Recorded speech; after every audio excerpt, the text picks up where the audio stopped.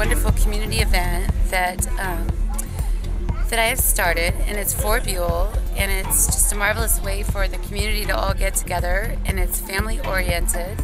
But this year we have our bean festival, our bean cook-off, and then we have our home beer brewing competitions, and then we have vendors from all over um, southern Idaho here.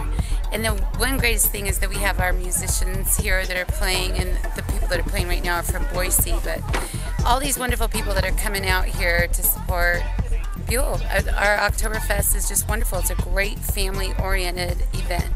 Really had a good Really time. good. Really good. is something that only happens once a year. They said